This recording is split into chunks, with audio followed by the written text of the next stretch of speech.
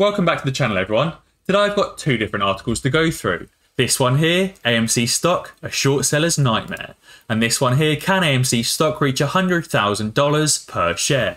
This article actually looks at the numbers behind AMC 100K and shows that it is actually possible. But before both of those, I've got an AMC hype video. Trust me guys, you do not want to miss this video, so stay tuned and let's make some money. But before I dive into the video, I just want to give a massive shout out to the 1,200 of you that have currently dinged that notification bell, because you guys are always the first to watch a new video as soon as it's released. So guys, be sure to drop a like down below, subscribe to the channel and ding that notification bell if you haven't already so that you don't miss another video just like this one. So firstly, I want to dive in with the AMC hype video.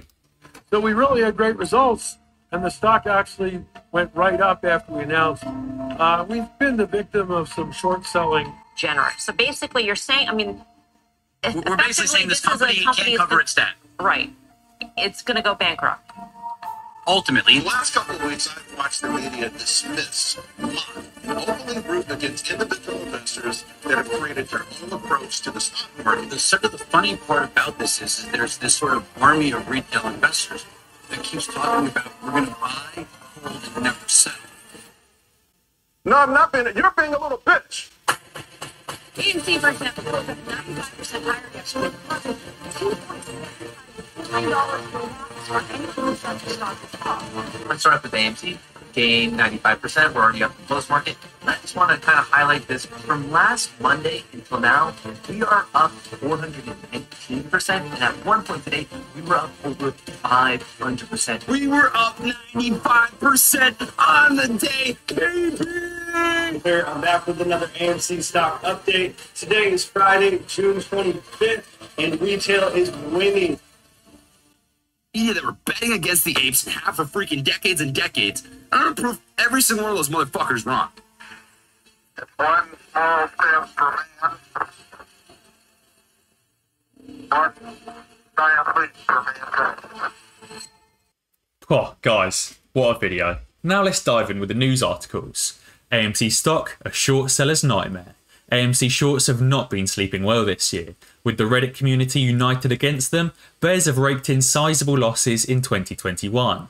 Wall Street Memes talks about this epic ape versus suit battle today. AMC stock up 2,200% year to date on the back of two massive squeezes has been one of the hottest topics of conversation in the stock market this year, and the war between AMC stockholders and short sellers seems far from over. Holders have been winning for now, but with the recent drop of 27% since AMC's mid June peak, short sellers have clearly not thrown in the towel. Will AMC finally go to the moon? Whether it's $100 per share or the $100,000 per share that some crave, or will meme mania fizzle out? AMC short interest is currently around 17%, according to data from Yahoo Finance. If we have a look at Ortex, we know that right now, as of Thursday, that short interest is closer to 19%. That's the equivalent of $4.8 billion in short positions. S3 Research reports that during the month of June, short sellers incurred losses of $2.8 billion on AMC shares. This was the US stock that inflicted most pain to short sellers, followed by Tesla and Apple.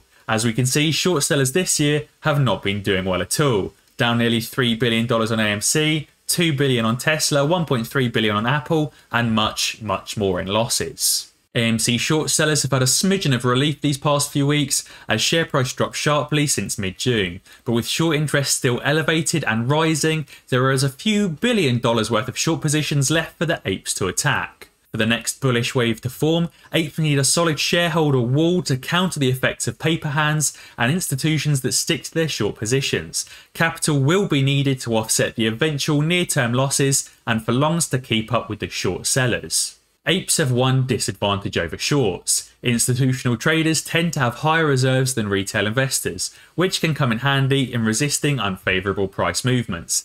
To offset this potential weakness, however, apes have a YOLO attitude on their side, unwavering commitment to the cause, even if at the expense of a market loss. Despite the recent cooldown in bullish pressures on AMC, the war is probably far from over. For as long as there's still an elevated short interest in AMC, resilience to endure the recent losses, and renewed buzz around the stock, another short squeeze is not out of the question. And guys, this is what we've been talking about the entire time. The squeeze isn't over until all the shorts have covered. But what about AMC stock reaching $100,000 per share? AMC stock has been the fastest growing meme stock. Apes are confident that shares will reach the unlikely price target of $100,000, if not $500,000. Wall Street Memes talks about the possibility. Wall Street Bet's ape community is uber optimistic about AMC shares, the most successful meme stock so far this year. Several hashtags on social media associated with the AMC stock suggest that expectations are for AMC to reach a price of $100,000 a piece, if not more. To understand how AMC 100k could be possible, in theory, one must first toss aside business fundamentals. And guys, that's the important part. This squeeze isn't based on fundamentals. It's a short squeeze play. That being said, the price of a stock is determined on supply and demand forces at the margin.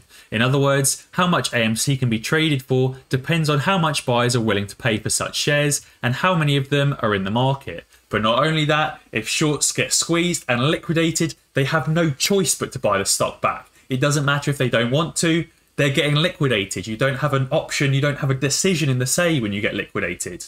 For example, let's say in November or December or January, you wanted to short Bitcoin with 100 times leverage and it blew up in your face. You can't just go to your broker and say, Hi guys, can I please have my money back? I didn't mean to do that.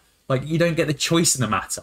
If buyers overwhelm sellers and a trade can be executed at a price of $100,000, voila, that's pretty much what it takes for magic to happen. But in practice, pushing a stock price this far would require overwhelming demand for AMC a wave of extremely loyal and united diamond hand holders willing to pay well beyond reason for the stock. They would then need to maintain their long positions and not succumb to selling pressure from traders looking to gobble up their tendies. But what they don't realise is that is exactly what we have. We have overwhelming demand. We have a wave of extremely loyal and united diamond handed holders, and we're going to hold the stock forever until all the shorts have covered.